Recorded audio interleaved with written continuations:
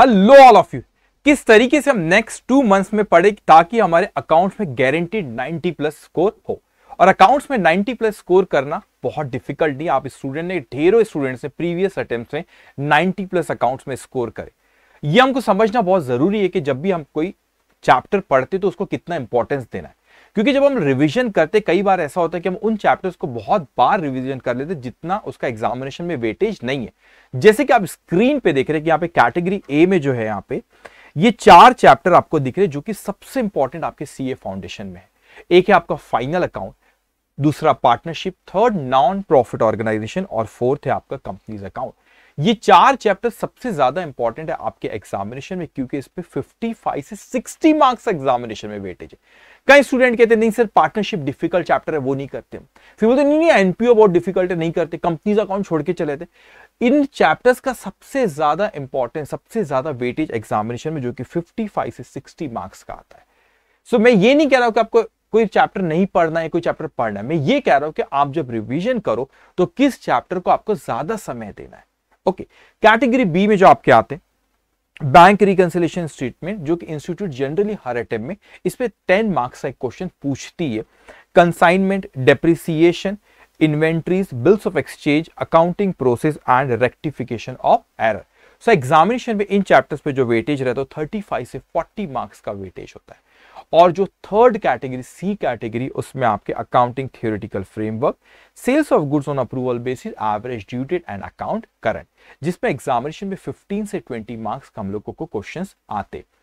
So, इसका मतलब हम लोग ये ना हो कि हम बहुत ज़्यादा समय इन चैप्टर्स पे देते जिन पे एग्जामिनेशन में उतना वेटेज नहीं है। तो पढ़ के आपको सारी चीज़ जाना है, लेकिन आप लोगों को जब रिविजन करोगे, बहुत ज़्यादा समय आपको स्पेंड कर एज कंपेरेटिवली दूसरे चैप्टर्स आपको ज़्यादा समय स्पेंड करना रहेगा इन चार चैप्टर्स पे। ओके अब जब भी आप कोई चैप्टर उठाते और पढ़ते तो सबसे ज़्यादा इंपॉर्टेंट होता है उस चैप्टर के कंसेप्ट को, उस चैप्टर के क्या? कंसेप्ट को आपको समझना सबसे ज़्यादा इंपॉर्टेंट होता है। जनरली स्टूडेंट को लगता है कि अकाउंट्स एक प्रैक्टिकल सब्जेक्ट है तो उसके जल्दी से जंप कर जाते हैं, उसके क्वेश्चन सॉल्व करने पे, जो कि मुझको लगता है कि बहुत गलत तरीका है।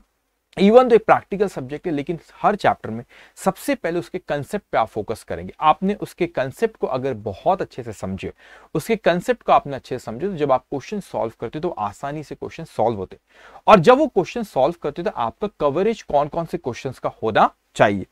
तो आप जैसे स्क्रीन पे देख सकते हैं कि जो सोर्स आपका होता है, एक होता है आपका RTP, revision test paper, mock test paper IC एक स्टडी मटेरियल। इंस्टीट्यूट के स्टडी मटेरियल के सारे क्वेश्चन जो एक्सरसाइज में दिए, वो भी सारे के सारे, छोटे से लेके बड़े, हर क्वेश्चन को सॉल्व करना है। यू डोंट हैव टाइम कि आप सारे की सारी थ्योरी वहाँ पे पढ़ो। आपने जो भी फैकल्टी से पढ़े कंसेप्ट आपने समझे, लेकिन आपने ये चीज़ समझना चाहिए आपने कि क्या आपने सारी की सारी एग्जामिनेशन जो सारी के स्टडी मटेरियल के जो सारे क्वेश्चन इंस्टीट्यूट के सारे के सारे क्वेश्चन हमने कवर करे क्या? और प्रीवियस एग्जामिनेशन क्वेश्चन भी जो आपका सीए फाउंडेशन में 2018 से शुरू है, वहाँ से आपने क्या सारे के सारे क्वेश्चन करे क्या? इनफैक्ट मैं जब रेगुलर बैच के जो मेरे लेक्चर्स होते उसके पुराने भी क्वेश्चन जो रहते हैं, वो भी उन लोगों के स्टूडेंट को क्लास में कराता हूँ। तो आपने ये ज़रूर देखना, जब भी आप कोई चैप्टर करते हो तो क्या आपने previous RTP mock test paper IC के स्टडी मॉडल के सारे क्वेश्चन और प्रीवियस एग्जामिनेशन क्वेश्चन क्या आपने सॉल्व करे हो कि नहीं करे? कोई ऐसा ना हो कि हम लोग क्या करते, बहुत कम सेलेक्टिव करते। अब ये चैप्टर इंपॉर्टेंट है, ये चैप्टर इंपॉर्टेंट है। देखो, आप एक प्रोफेशनल कोर्स करने जा रहे हो। और प्रोफेशनल कोर्स जब आप करने जाते हो तो बहुत इंपॉर्टेंट होता है कि देखो इलेवन ट्वेल्थ में आपको लगता है हमने बहुत अच्छे मार्क्स लाए थे। अच्छी बात है। इलेवन ट्वेल्थ मैंने भी कॉमर्स से किया। मैं कॉमर्स के स्टूडेंट से बात कर रहा हूँ। तो मैं उनसे फिर साइंस वाले पे आता हूँ मैं।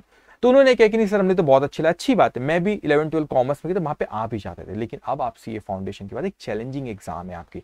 आप एक प्रोफेशनल कोर्स करने जा रहे हो, इस प्रोफेशनल कोर्स में आपको मेहनत भी उतनी ही करनी पड़ेगी।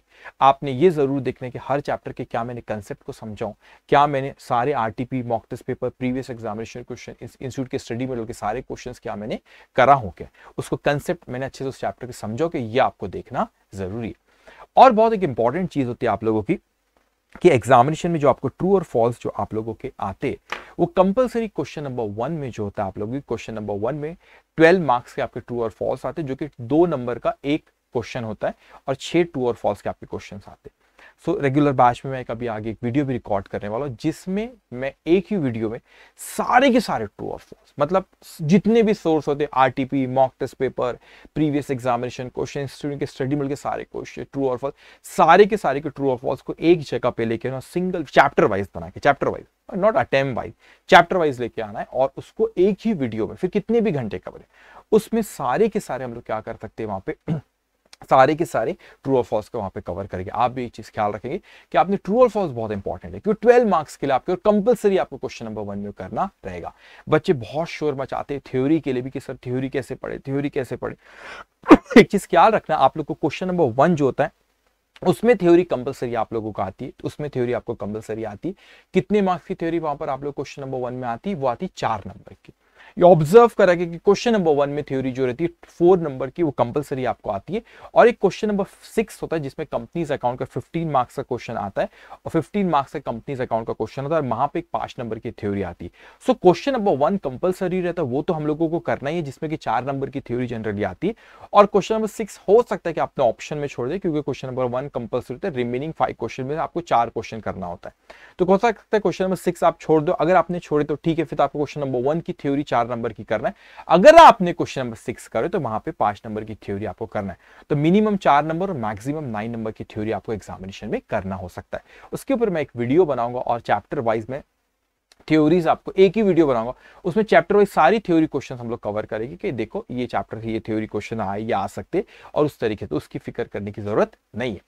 अब दूसरी दिक्कत ये होती कि आप लोग ने यहाँ पे जब हम लोग पढ़ते तो हम लोग multiple source of material refer करते, जो कि मेरे हिसाब से सही नहीं है। आपने जहाँ से भी पढ़े, आपने बस ये आपको अश्योर करना रहता है कि आप जहाँ से भी पढ़ रहे हो, आपको ये अश्योर होना चाहिए कि वो मटेरियल में सारी की सारे क्वेश्चन हम लोग की कवर है। फिर चाहे आरटीपी के हो मॉक टेस्ट पेपर के हो इंस्टीट्यूट के स्टडी मेडल के क्वेश्चन तो ये प्रीवियस एग्जामिनेशन क्वेश्चन जैसे कि मैं ये रेगुलर बैच में ये बुक मैंने लेटेस्ट बैच की ये मेरी बुक है। इस बुक के अलावा कुछ कुछ मतलब कुछ भी नहीं, एक पेज भी आपको कुछ और नहीं करना है।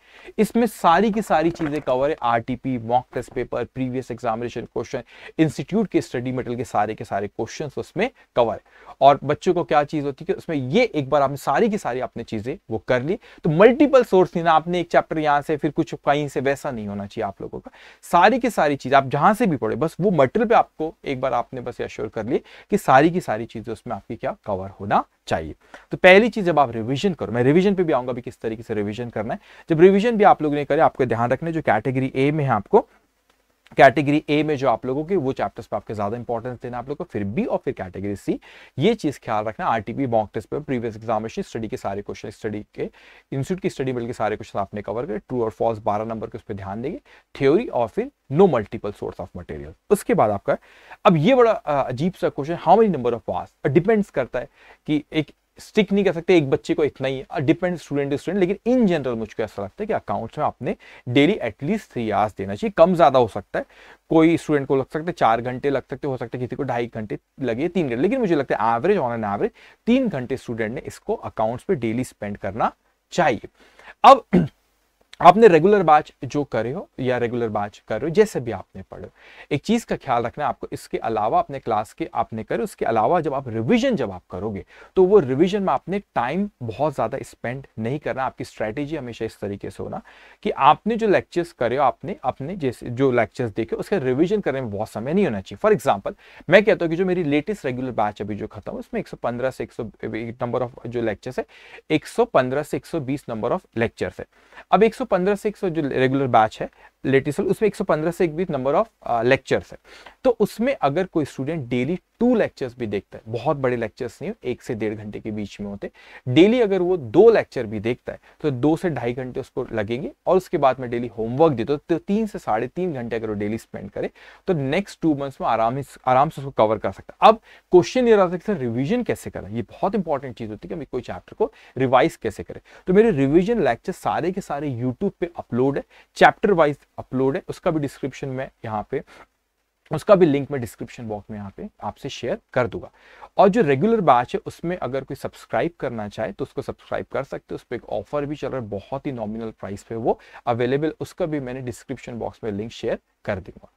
अब उसके बाद होती है इंपॉर्टेंट आपका लास्ट जो होता है वो आपका टेस्ट टेस्ट बहुत इंपॉर्टेंट होती है स्पेशली जब आप चैप्टर वाइज भी आपने टेस्ट देना चाहिए और आरटीपी जो आपके, जो मॉक टेस्ट पेपर आपके अटेम्प्ट की होती है इंस्टीट्यूट कंडक्ट करती है, उसको आपने ज़रूर देना चाहिए।